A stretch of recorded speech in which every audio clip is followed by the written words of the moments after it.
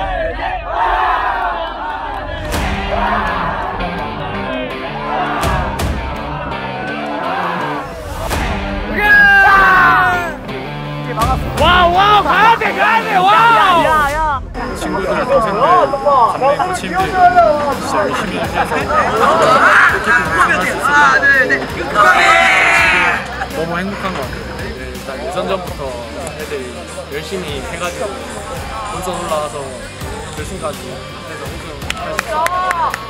네, 코치님 중에서도 김기용 코치님이 저를 끝까지 믿어주시고 경기 믿고 뛰어, 뛰어주셔서 이런 저가 또 경기력도 펼칠 수 있었다고 생각합니다. 너무 행복하고요.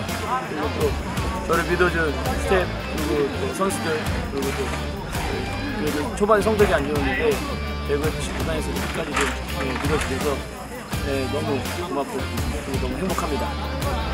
위야 대구. 위야 대구. 위야 대구.